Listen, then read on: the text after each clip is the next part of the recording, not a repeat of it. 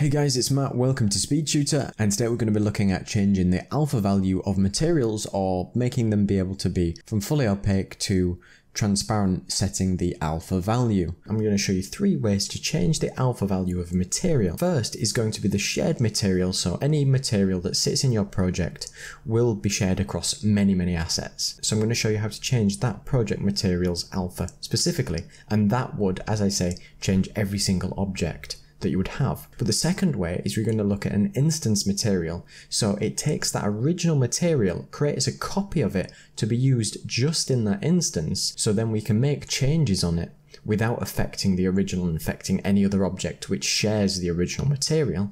And then I'm going to show you how to use a simple slider to be able to change the alpha value to on either a instanced or a normal shared material. So all I've got in my scene is a cube with a material and your material when you create it right click create and choose material you need to make sure that it has transparency on its rendering mode it's the same in whichever version of unity you use or whichever render pipeline it must be transparent to support transparency and you can see that on our albedo color you can see there's an alpha value and we can set that from 0 to 1. Now we're going to, and I have a basic slider which goes from 1 to 0 just so I can show you another example of how to do it.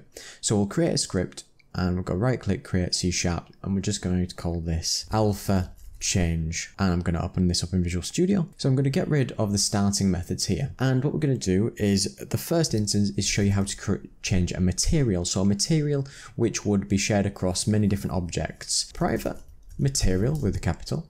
And I'm just going to call this my material. So this is going to be something that we find from the project panel. Then in this case, we can say void start and you can do this on your slider, but I'll give you the example of doing it in a start method, just so that you might want to set material alpha to zero at the beginning. So we're going to create a local reference to the color that we're going to set because albedo is just a color, but it has an alpha value attached to it. So that is then equal to the my material dot color, which is getting the color from the actual material that we've got. Then what we want to say is the color that we found dot the alpha value is then equal to, let's say zero in our case, which we want to set it to the alpha value to zero. Then now we can say that my material dot color is equal to our color that we've just found, which is the alpha value that we've set. So if we go back into Unity, you can see that if I just apply this to our cube, and you can see that it's searching for a material, and this is from the project panel, so I'll add my transparent material.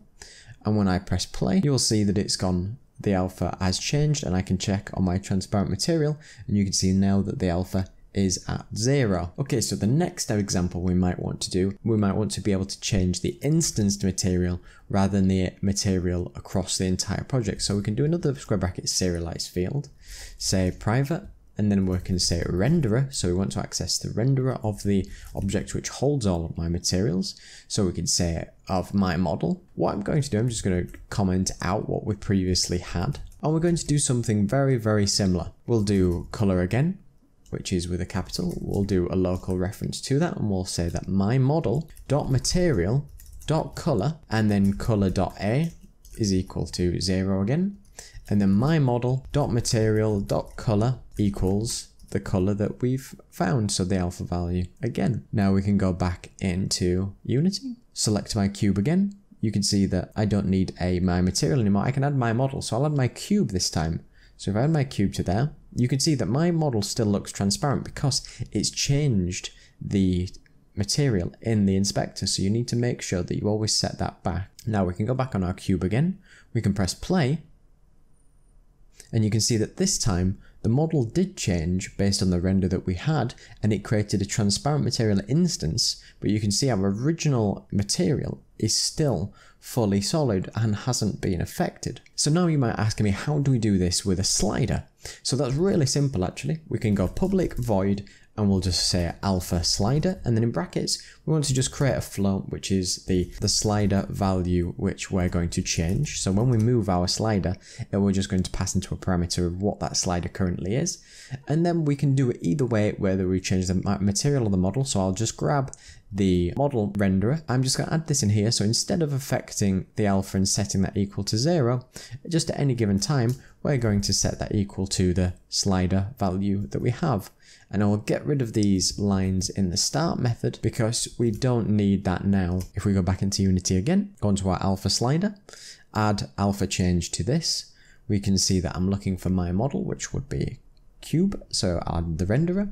We can add a new on value changed event, add alpha change script, go to the alpha change and choose the dynamic float, which will be the alpha slider. Now I can get rid of the script that I had on my cube originally. I'll maximize and play and press play here and see that my material is fully opaque. Now when I move the slider down, you can see that moves from zero to the maximum just like this so we can control it just by our slider. So now if I show you, our slider is 0.52. Now if we go on the cube, you can see that there's an instance material and you can see that also has a value of 0.52. Then I will mention that you can use void on destroy to destroy your actual renderer material because if it's instanced and when you exit the game sometimes it can clog up the editor and things and it become quite a backlog on the memory. So it's good to destroy any instance materials. Once you finish with them and on destroy just means when your scene changes on your game ends it will destroy those materials so they're not left behind. So be sure to let me know down in the comments if you have any suggestions on to make this better or anything that you can share with the community. Do come and join my patreon to support my channel and it would really help you can get access to scripts projects, and everything you see in my tutorials, come and join me on Discord if you want to chat. Come and check out my fantastic assets on the Unity store. Thank you very much for watching. Don't forget to like, comment, and subscribe. Cheers.